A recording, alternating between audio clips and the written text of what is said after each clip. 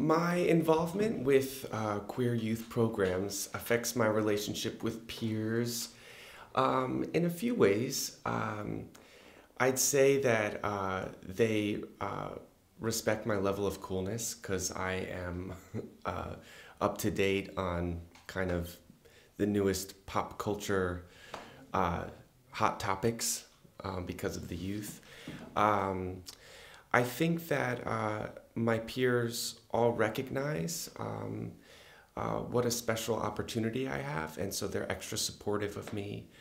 Um, and um, I think that uh, running the program affects my relationship with peers.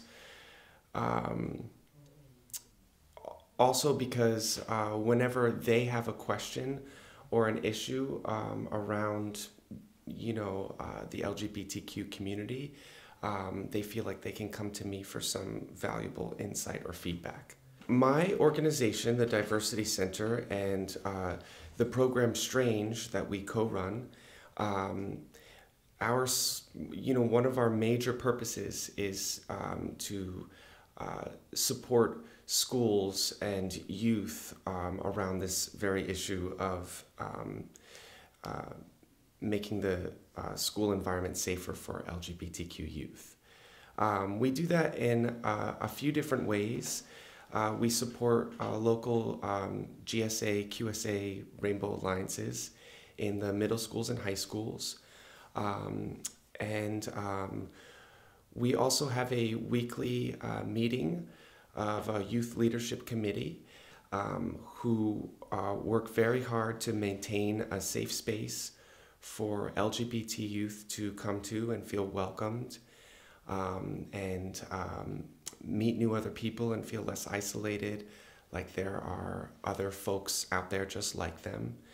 Um, within the group, they support each other and share their experiences and also learn about um, uh, the greater LGBTQ uh, equality movement different activism campaigns and community resources and ways that they can become involved.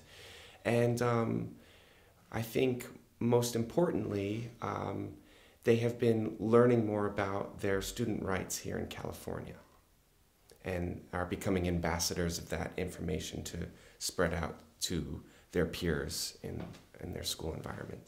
Um, I think our uh, organization uh, the Diversity Center, in addition to what we're already doing, can um, help make uh, the community safer for LGBTQ youth by strengthening our um, uh, partnerships with other community resources that are doing the same work, um, and to continue to um, educate ourselves um, around the um, different laws uh, that are in place um, regarding student rights.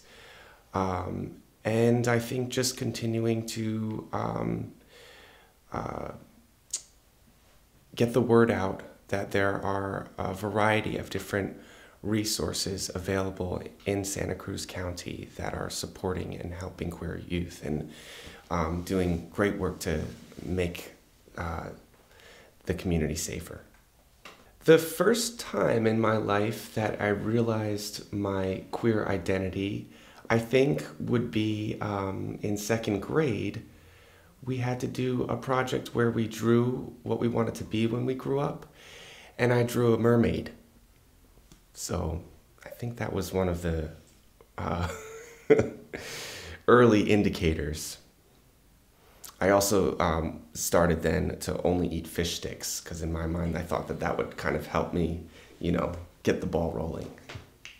My favorite movie is such a, a tough question. Um, so my favorite, one of my favorite movies um, would have to be um, The Goonies um, because I think it's a really fun, exciting adventure story about a group of um, youth who all have different strengths and weaknesses and embrace each other's uniqueness and basically form this team that sets out to save their community. Um, and so I definitely could say that that's one of my favorites. And I love pirates, the whole mermaid thing, pirates, you know, it's, it's all interconnected. So, my favorite color um, is that color that the surface of the ocean turns right at sunset. It's kind of that like chrome, silvery, uh, iridescent color.